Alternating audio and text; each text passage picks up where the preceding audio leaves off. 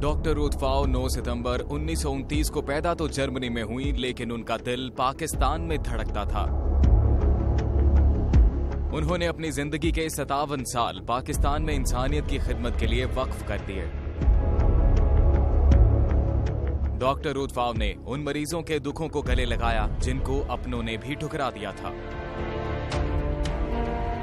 جزام جیسے خوفناک مرض کے علاج کے لیے کراچی، خیبر پختونخوا، بلوچستان اور گلگت بلتستان میں لیپروسی سینٹر کھولے۔ ڈاکٹر روتفاؤ کی خدمات کا ہی نتیجہ ہے کہ آج پاکستان میں کوڑ کے مرض کا تقریباً خاتمہ ہو چکا ہے۔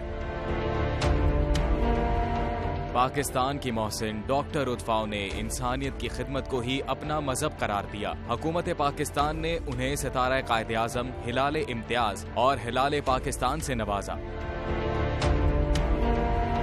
ڈاکٹر رتفاؤ کو مکمل سرکاری اعزاز کے ساتھ سپرد خاک کیا گیا، جبکہ ان کو خراج تحسین پیش کرنے کے لیے یادگاری سکہ بھی جاری کیا گیا۔ بلا شبہ روتفاؤ پاکستان کی ہیں اور پاکستان روتفاؤ کا۔